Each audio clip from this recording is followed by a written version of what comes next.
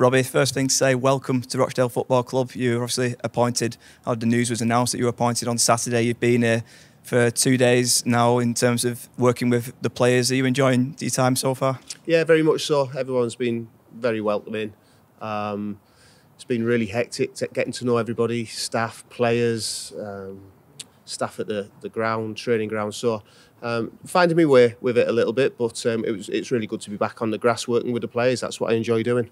Um, what was the the main pull of Rochdale Football Club for yourself? Um, I think it was having speaking to the board, um, their vision um, of what the club wants to be, and it fitted in very much with some of my ambitions. Um, it's unique in the way that it's it's fan owned. You know, there's not many of those about. I feel a, a huge responsibility um, with that to make sure that the fans are happy with the work that we do. Um, I think we've got to remember that the fans are the heartbeat of a football club. They'll be here long after staff, players are, uh, have been in the building. So we want to make everybody um, aligned with the, the, the vision that we've got, and that's to win. We want to come here to win and, and get up the leagues again. And that'll be so much easier with everybody backing us. And I understand that we need to give them a team that they can back, and, and that's the job the board, the directors in their sort of short tenure so far have been very much want to be aligned with the supporters. Is that was that one of the main discussion points when the interviews were taking place with yourself? Yeah, certainly was. Um, I think I want to be accessible to the supporters. I think the club deserves that, and um, you know, want to be as open and honest as we can be. Obviously, the, there's certain things that can't be shared, but um, whenever possible, um, we want to make sure that the fans feel part of the journey. And it's a really exciting time for us. New manager, new board, um, new league. So hopefully we're, we're successful on the pitch and that leads to success off it. You have done a lot of research on the squad before you were appointed. You've had a chance to obviously work with them now. Are you impressed with the, the quality that we do have in the moment at this moment in time? Yeah, certainly. I mean, um, relegation always brings up issues. You, you, know, very rarely do you do you do you go down a division and, and keep all the players. So that's fine. Um, our squad's good, small, and we need to bring players in. I'm fully aware of that. Um, again, everyone can be uh, rest assured that that's something I'm working very hard on. But also, we need a little bit of patience on that one. Um, you know, it's easy to jump the gun and just get the first players that become available. And I don't think I'd be doing my job properly for Rochdale if I did that. I want to do the due diligence on the players.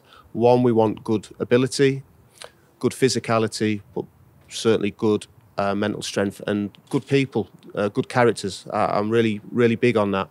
And especially having worked with the players for a couple of days now, we've got that in abundance in the squad. So I want to add to it and not take it away.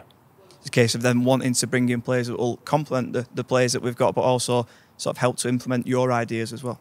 Yeah, and that, that's the role of any manager who goes into a club that wants to put their stamp on it. Um, but I've been really impressed with what I've seen from the players so far. The work ethic has been outstanding. I've asked them to continue that. Um, the first few games for me in pre-season are all about fitness.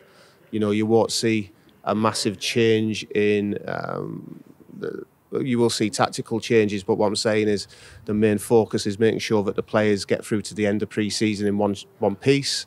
Do you understand what I want from them? Um, and then we attack the season when it comes in terms of the style of football that you want to implement into the into the squad. Can you give supporters a sort of a brief idea on that? Yeah, so um, spoke to the players about what I'm after. It's it's high energy.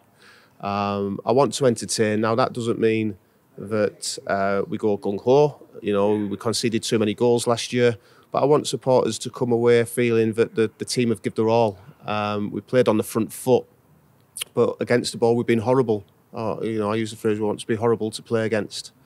Um, so there's two sides to it. Will we get it right every time? No, there's no promises with that. But I think the fine margins of winning, losing, or drawing, the supporters should always go away. I think we've given 100% for them in terms of people that you want to, to work with, in terms of your backroom staff, obviously got the backroom staff that are here already, but is, is there anyone that, you know, is there room for you to bring in a couple of people who, who you know and trust? Yeah, so I've been really impressed with the, the guys that have been uh, doing the work to now. It's never easy. I've been in their position.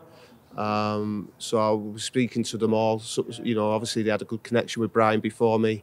So potentially some of them might not want to stay. So that's something that I have said we'll, we'll speak about um, and that, that should happen at the end of this week.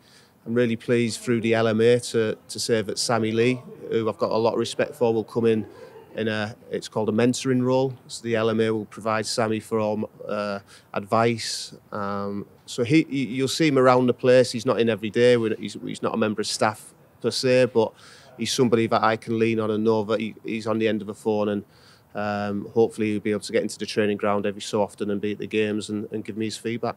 You were at the game pre-season friendly against Luton Town on Saturday. We've obviously got a pre-season schedule already in place. Are you looking forward to, to getting into those games and getting out onto the pitch? Yeah, well, I can't wait till Saturday when we get some supporters in the stadium. I was fortunate enough to work at the back end of last year in the Premier League when um, when I was at West Ham. We, we, got supporters in for our final home game. It was incredible, the noise that they made.